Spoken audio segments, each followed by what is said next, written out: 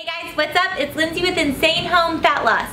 Today we're going to talk about how easy it is to eat eggs and get lean. It's pretty simple. What you didn't know though is how easy it was to find something that's not only cheap but it's everything you need for performance boosting all in one little shell at just 70 calories a pop. Eggs are full of protein, vitamins, and everything that we need to get energy throughout our day. Each egg delivers you six grams of protein and it's considered a complete protein solution because it delivers all nine amino acids for that protein synthesis. Remember, you always have to have that protein to start torching some serious fat. So that doesn't have you cracking more of these eggs, then some hard facts that we'll go over today will. Did you know that you need about 600 international units of vitamin D in your body each day? Well, this is going to lead us into why eggs are known as the sunshine vitamin. The great thing about our little shelled friends is that they deliver 64% vitamin D. I'm willing to bet that the majority of you watching this don't pay attention to what an international unit is or how much vitamin D you're intaking each day. That's okay. I'll break it down quick. Basically, if you're eating your eggs, then you're getting the vitamin D you need. The great thing about getting all that vitamin D in your system is that vitamin D is linked to higher testosterone levels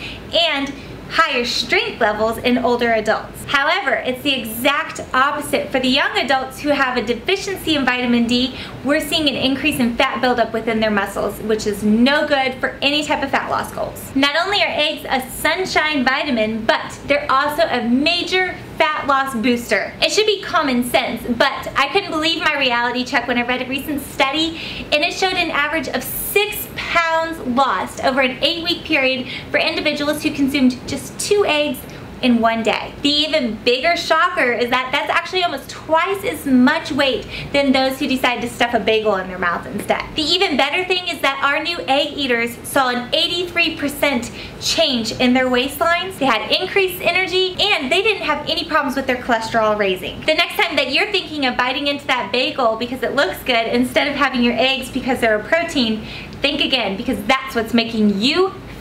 Right now, if you're a big eater, I'm willing to bet that you might just be eating egg whites most of the time. But did you know that keeping the yolk can be the most important part? For those of you who've been cutting all those yolks out, don't waste all of your eggs. Keep at least one whole egg per day. One whole egg delivers everything that you're going to need to recover sore muscles, give you the energy you need, and boost that brain power. Also, did you know that 44% of the egg's protein is actually in that yolk that you're discarding every time? The next time that you want to cut all that protein out, just think twice.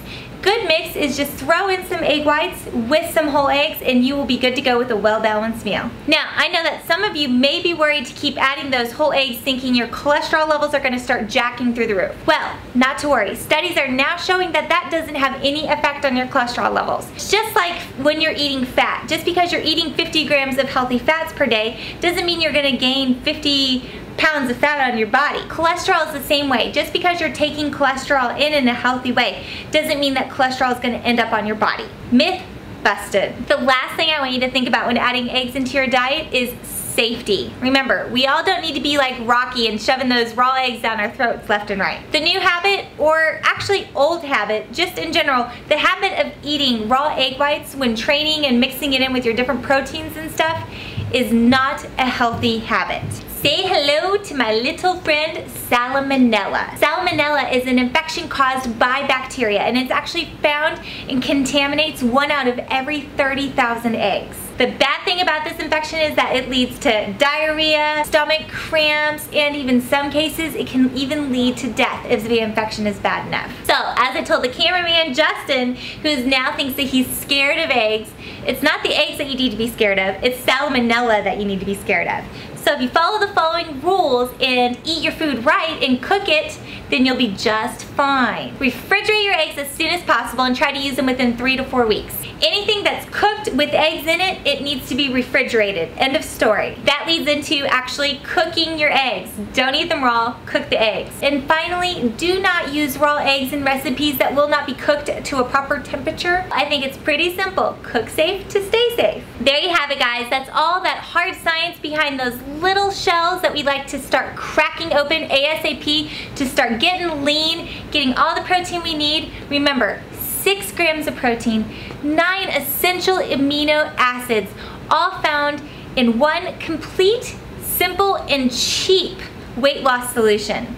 For more awesome nutrition tips and insane workouts, visit me again on insanehomefatloss.com. Thanks guys.